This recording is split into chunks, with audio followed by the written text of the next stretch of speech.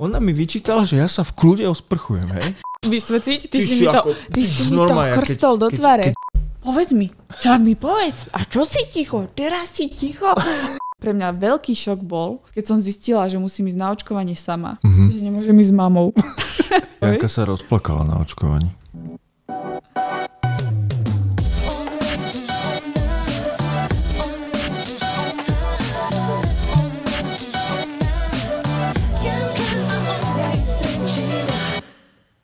Ahojte a vítajte pri prvom dieli druhej série nášho podcastu On versus Ona. Víta vás od mikrofónu moja milá, šarmantná spolukomentujúca Janka. A Andrej Strenčina.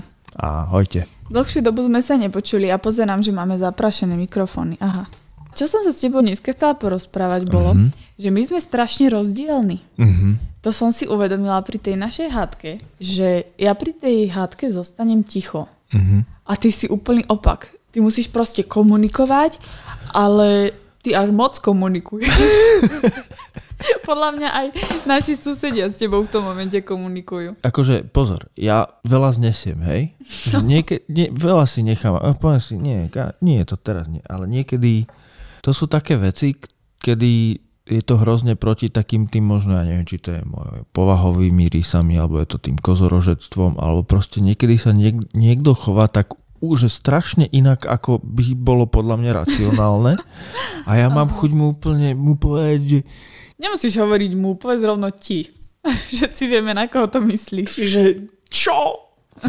Vieš? Ja som práve, že naopak taká, že ja potrebujem zostať ticho a vyriešiť si to v hlave, že vlastne čo chcem, A to- čo nechcem. Ináč to, to je strašné pre tých chlapov, podľa mňa úplne, že väčšinu chlapov, že ten chlap má chuť to proste... A tá žena zostane ticho, vieš? Ona je ticho proste.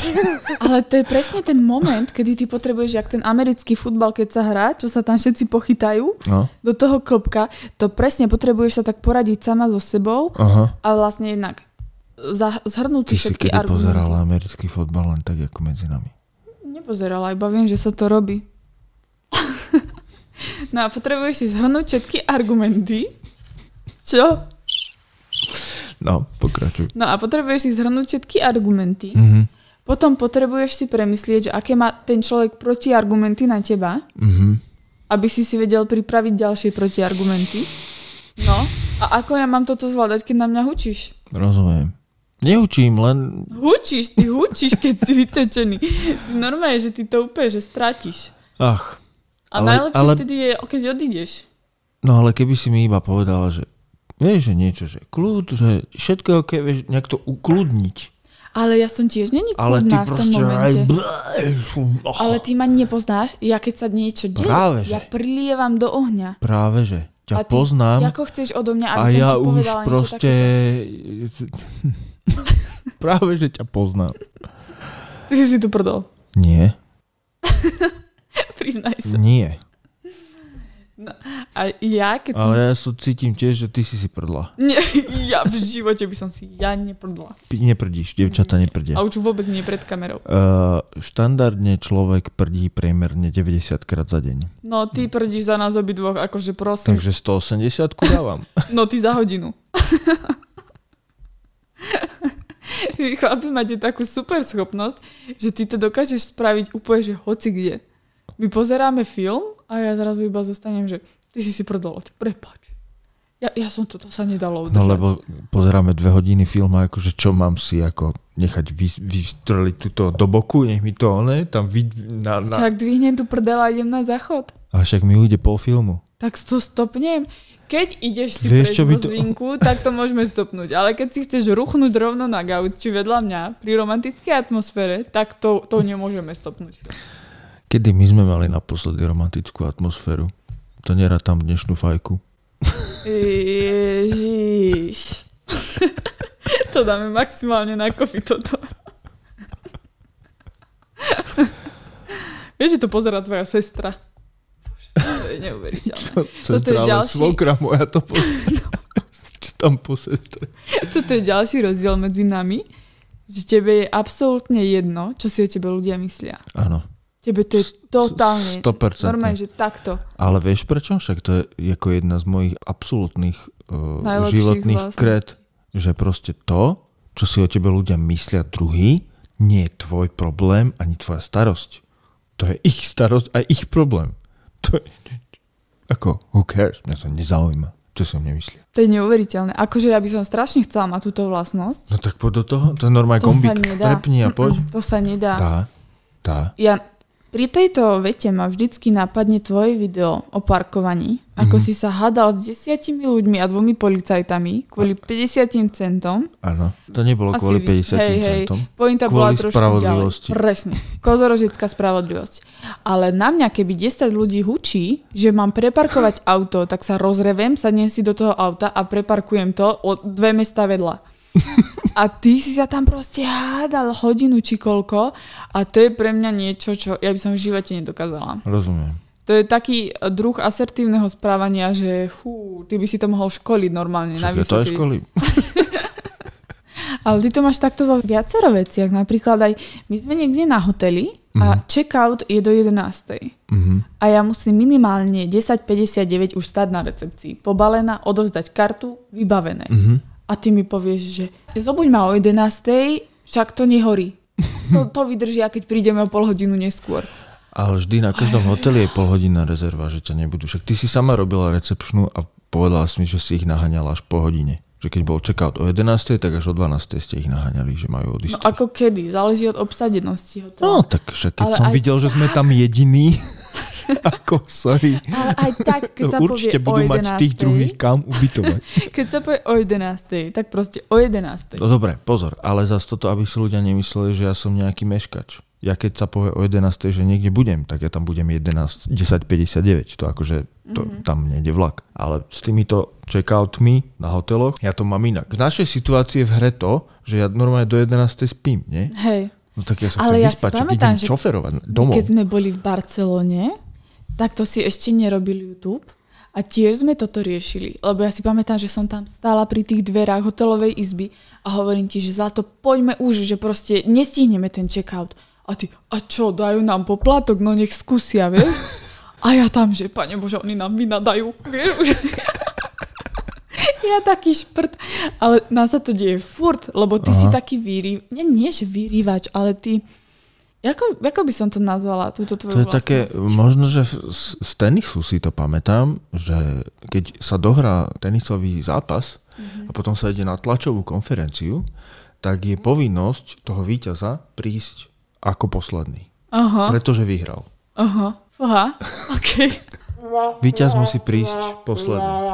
Ten, čo prehral, tam musí sedieť jak čapica už od kedy začalo tá konferencia. No dobre.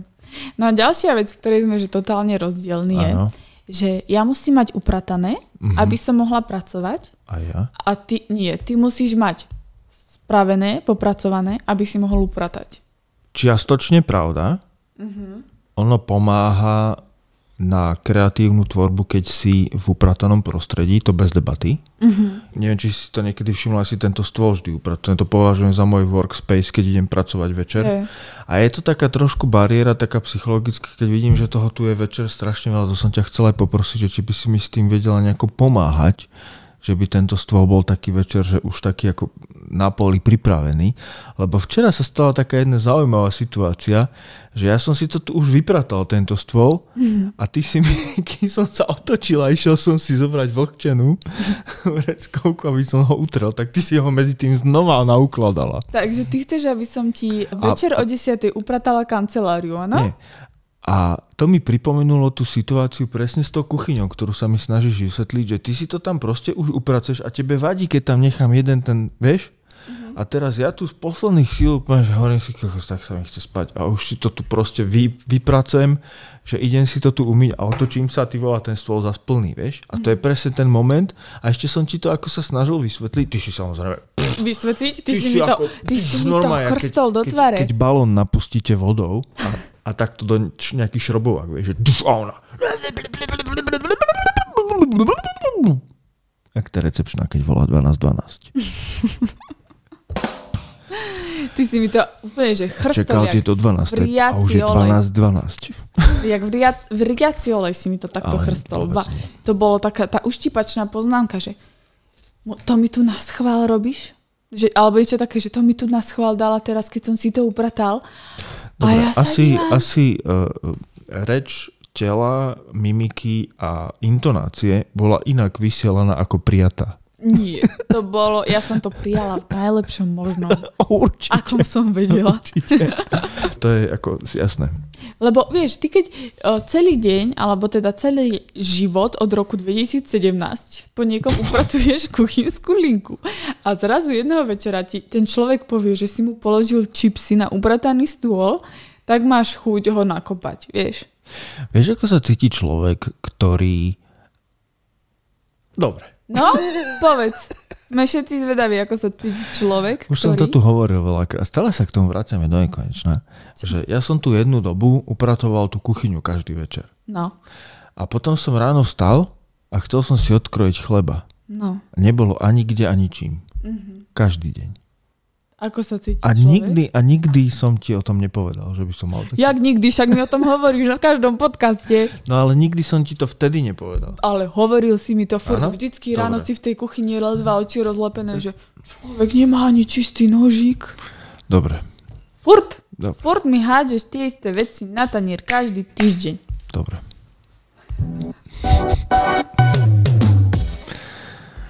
Ale veľmi ťa ľúbim. A ja teba. Ďalšia vec, v čom sme úplne že rozdielni my dvaja, mm-hmm. je to, že ja dávam seba stále na to posledné miesto. A ja viem, že ja robím strašne zle, No, lebo ty to máš ako, ty si na tom princípe padajúceho lietadla. Áno. Že najskôr dať kyslíkovú masku sebe, Áno. až potom dieťaťu. áno. A mali sme to aj teraz na grilovačke, že ja som bola extrémne hladná, ale ja som najskôr musela nakrmiť Ja toho som Kevina, to videl. A ja som ktorý norm- nechcel jesť. Ja On som to videl, no. nechcel jesť. A ja si hovorím, ona bude hladná, nasratá, e, vystresovaná, unavená, všetko proste zlé, celé zlé. Všetci od teba sa nakazíme, lebo ty si hladná, Dík.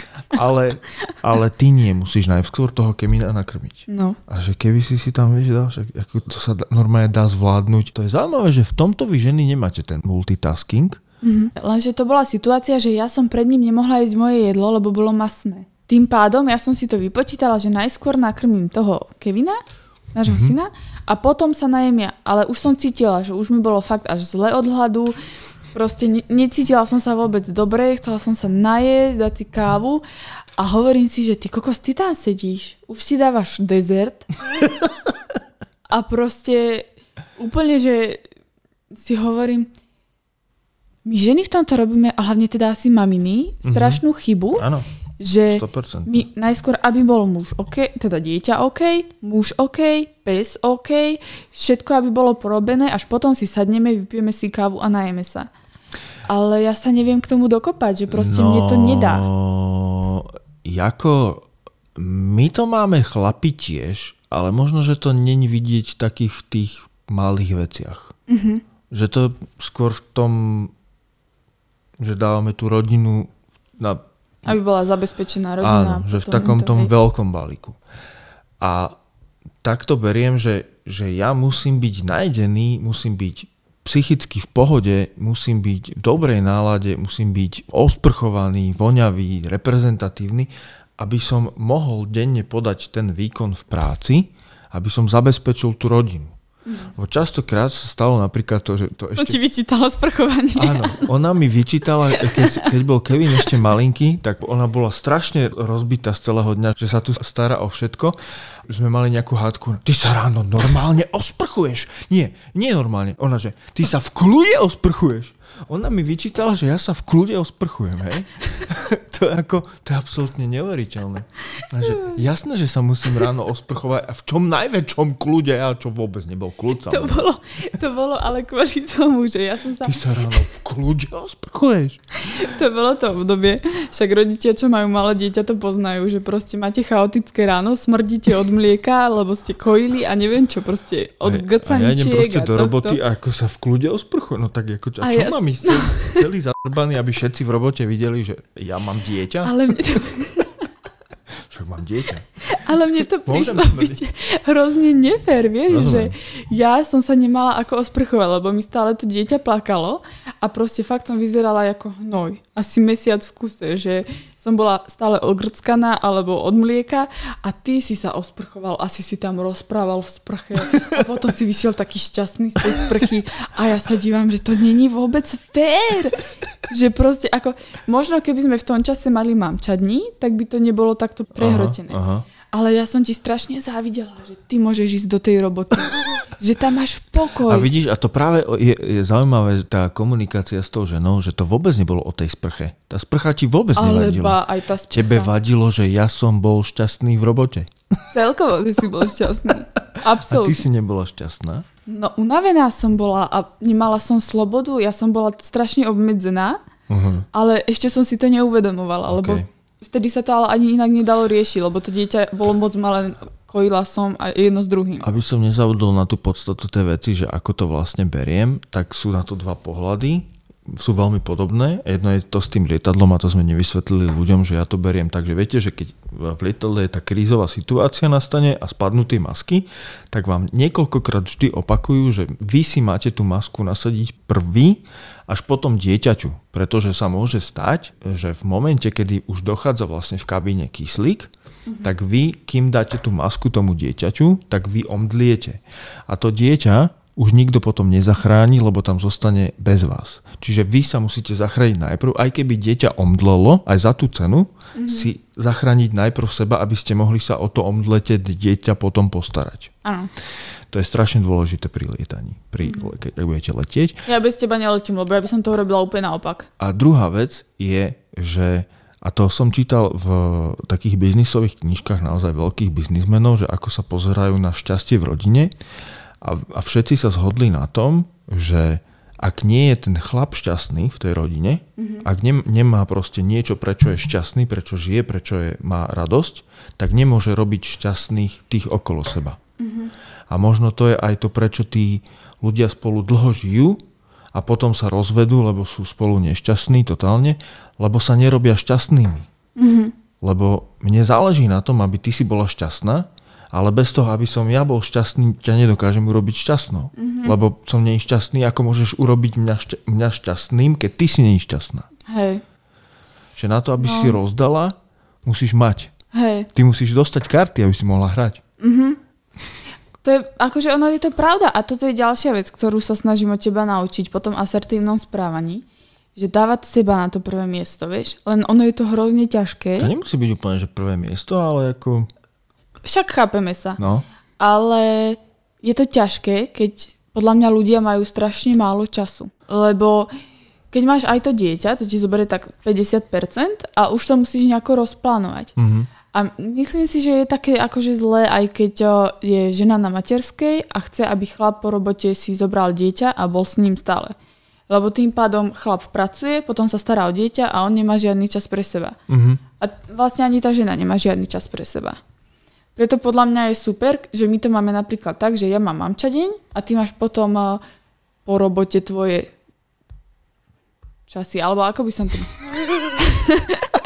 ako by som to zahrala.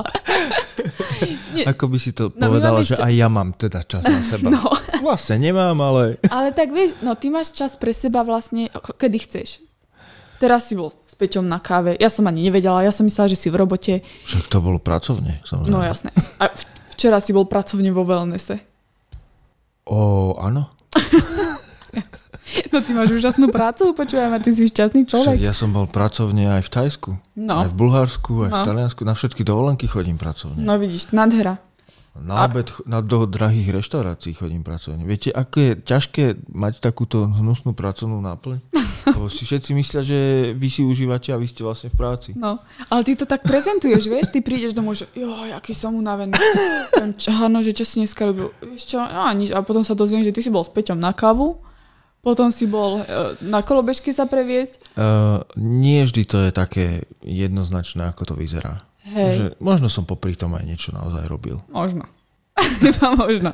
A, ale vieš, ja to myslím tak, že ty si vieš urobiť takéto voľna. Že ja o nich ani neviem. Alebo že aj ty ideš... si robíš voľné. Keď Alebo mali že- spí, tak si tu vyložíš nohy a pozeráš Áno, a navarí sa samé, uprace sa samé. Tie tvoje chlpy v umývadle. A už, a už, a už, ma, a už máš nabité. A už, A že, ty máš nové taký automatický gun, viete, on z tej budúcnosti, že tam je nastavené, že keď on použije na mňa túto pi- to je jak v tom Izraeli a Palestíne, že oni vystrelia strelu a už, a tá to strela, buf, a proti strela, dš, a strele, vieš? A ty robíš to, toto. Ale ja mám mnoho viac tých zbraní, vieš. No však práve. Lebo no, ich mám na, Len- nachystané. Len sranda je tá, že vlastne ja nemíňam tú energiu, ani mentálnu, ani fyzickú, ani, ani mozgovo kapacitnú, ani pamäťovú, mm-hmm. na to, aby som vyhral argumentačnú vojnu, že či som dostatočne pracoval. Hej, však do, dostatočne pracujem vtedy, keď na konci mesiaca zaplatíme nájom a všetky poplatky a ešte nám niečo To tak, zostane. to tak úplne... Týmto by som to odmeral. To tak úplne ako, že by som nemerala. Nie? Prečo? Nie. No lebo tak... Uh, alebo to tak nechcem. Ti to, lebo ti to tak nevyhovuje. Áno. O, je takto. Takto Nie, áno. ale tak, to že- áno, mám čas. To Vrať- ako, počkaj.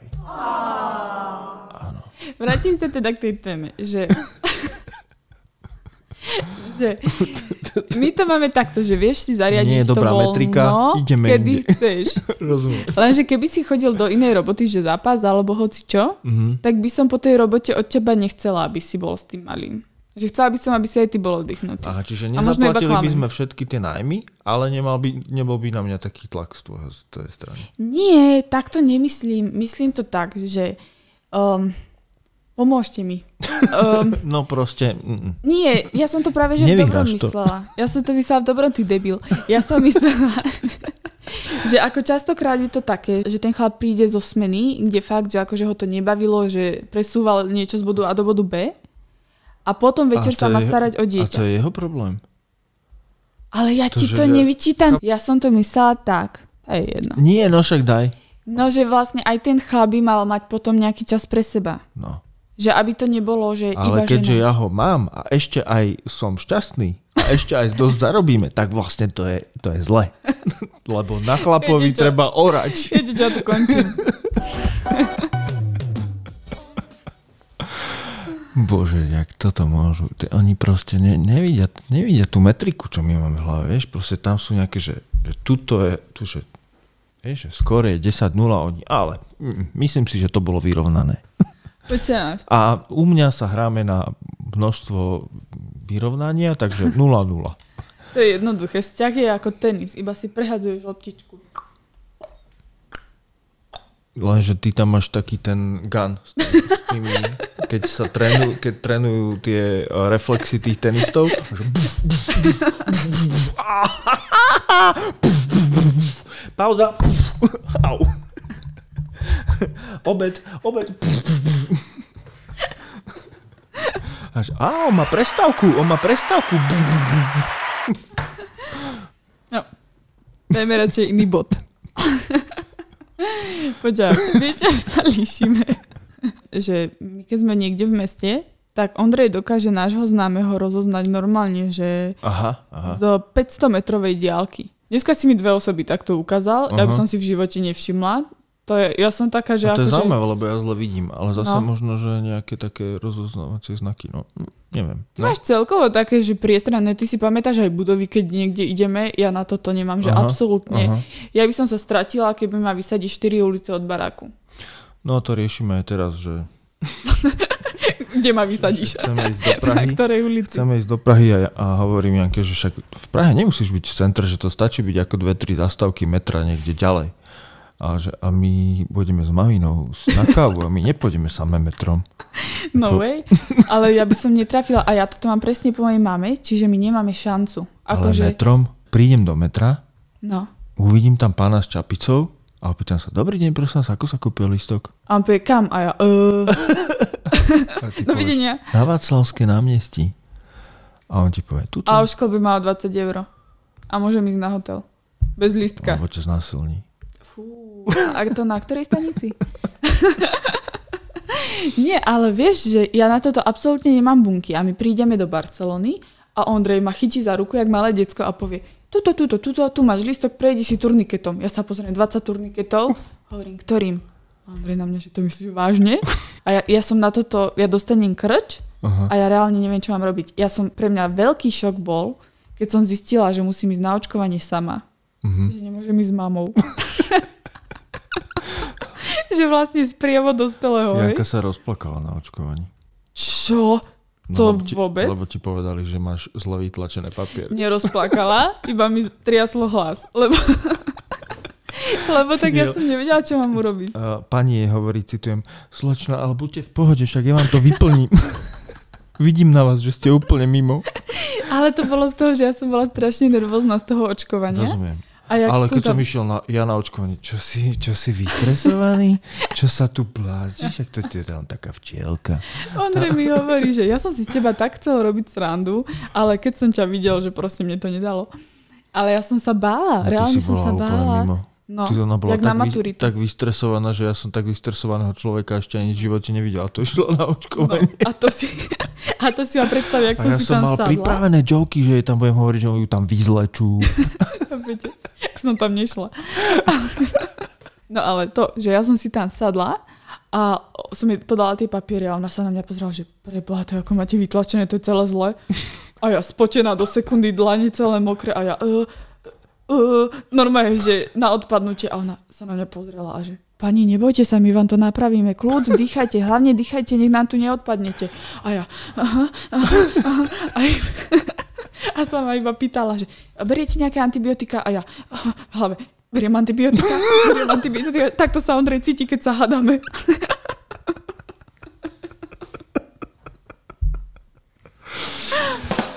No. Amen. A ja som v tomto, a ja keby som prišla do toho metra, tak akože neviem, neviem si to predstaviť, že by som sama, alebo že ako ty sama išla na lietadlo. Mhm. Neexist. Mám pre vás dobrú fintu, ktorú používa moja teta, keď lieta. Cera jej dala takú akože inštrukciu, že keď sa na letisku stráčiš a nevieš čo, máš plakať, no máš slzy a máš za niekým prísť, že si úplne stratená. A že dám ti pomôžem. A tam nejaký obchodník s mesom, že hajde, poďte so mnou, teta. Gombík. No, mám tu posledné veci, v ktorých sme akože totálne rozlič- rozliční, Môže byť. rozdielni. Mhm. Mám tu, že ja vyhľadám drámu a ty sa jej vyhýbaš. Ale to vôbec není pravda asi. Rozumiem, no. No. Dneska som, Lebo ja dneska som toho názoru, že je dobre sa občas pohádať, že vyventiluje to nejaké emócie a Ale hlavne... hádaj sa, nebuď ticho. ale Ona ono je ticho, ja tu nedá. chodím jak klie, lev klietke, tak to pochodujem, trhám si vlasy. Proste jak, jak typicky tí Taliani, keď sa hádajú, už chýba len, aby sme tie taniere takto, jak, jak sa volá ten šport? Neviem, ale vieš, čo na tom For, najhoršie? forsi či že čersi? my sa hádame a ty mi povieš, nebuď ticho, však mi povedz, čo ti vadí. A ja poviem jednu vec, ty trestneš veci a ideš preč. a ja si hovorím, že mala som byť ticho, vieš? Že ja sa vtedy, lebo ty zostaneš behom dvoch sekúnd totál vygradovaný, že proste máš nervy. No. A ja sa aj bojím niečo povedať, lebo není som si istá, že či neškrtnem tú zápalku, vieš? A čo ako by sa stalo? No to, čo sa deje furt. No dobré, a čo by bolo ešte horšie v tej hádke, že kam by to No, škrtlo? ja si to predstavujem tak, že keď sme takto naštvaní, tak zostaneme ticho, Aha. počkáme, kým sa trošku utlmia tie hormóny a potom A si prečo to by to vyrozprávam. nepovieš? Že, Ale ja ti to Buď- vždy hovorím, že keď ticho, som ticho, po- tak ma nechaj. Ale ty nie, ty... Povedz mi, však mi povedz, a čo si ticho? Teraz si ticho? A ja si v hlave hovorím, že nehaj ma. Ale proste máme niečo naplánované, že spravíme v ten daný deň a ja už viem, že to je celé proste v pr. Mm-hmm. A mňa to tak začne vytáčať, rozumieš? Že to proste, že proste... No teraz zase celé sa to posunie, to je jak proste, jak aj možno, prečo sme proste sa pohádali veľakrát a nedokončili ten podcast, mm-hmm. lebo sme to odkladali stále do nekonečna. Vieš, že... Čo som chcel povedať? Neviem.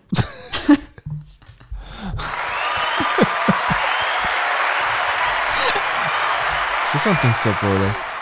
No a posledná vec je, v ktorej sme že totálne rozdielni je, mm-hmm. že ty strašne rád dávaš rady Mhm. a ja vôbec nedávam rady Mhm. a nerada ich príjmam. Mhm. že ja keď vidím, že niekto napríklad krája niečo na doske, to mi vždycky pripomenie, vieš čo? Tak mňa to absolútne nezaujíma, že niekto robí podľa po- to seba. povedať, nech sa zasmejú. No, boli sme na návšteve u Ondrejovej strany, rodiny.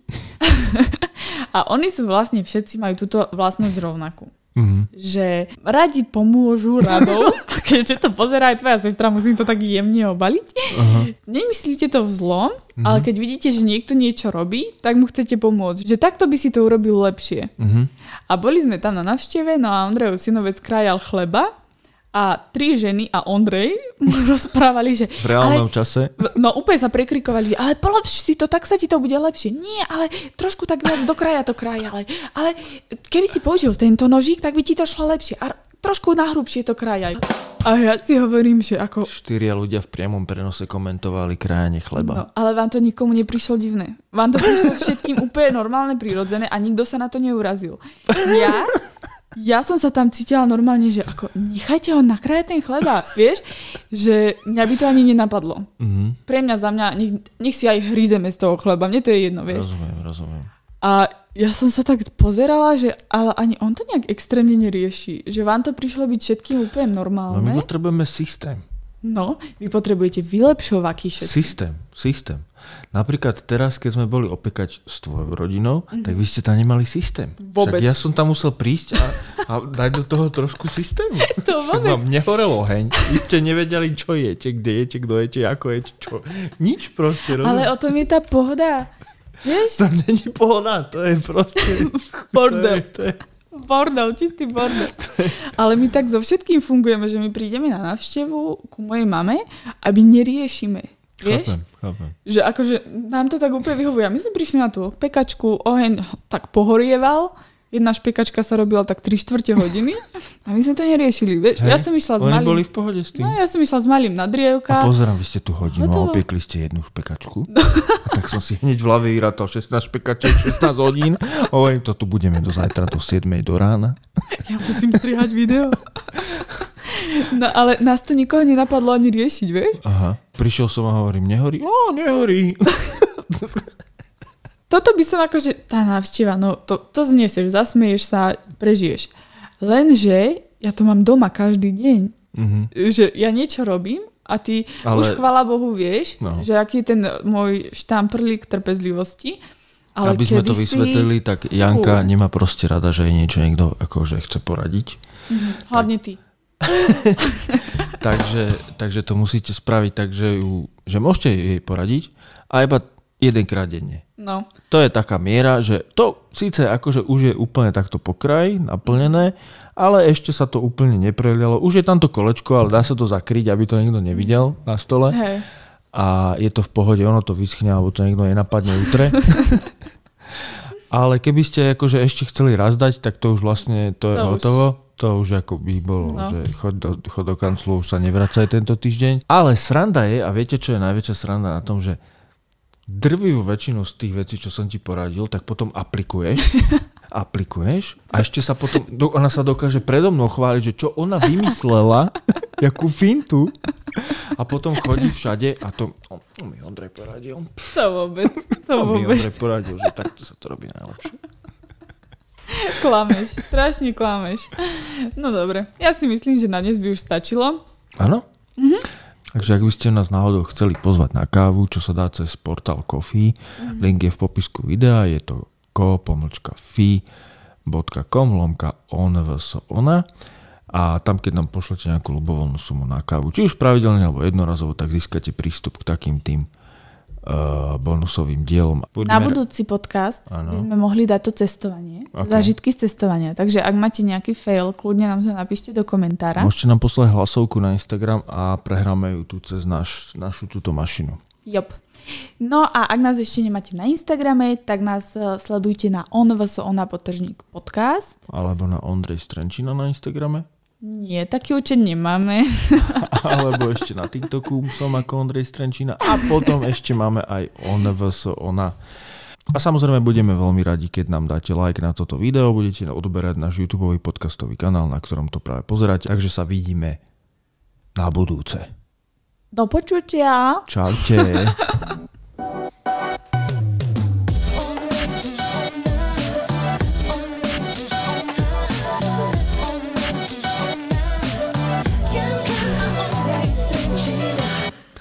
spokojná? Neverím, že sme dohrali nejaký podcast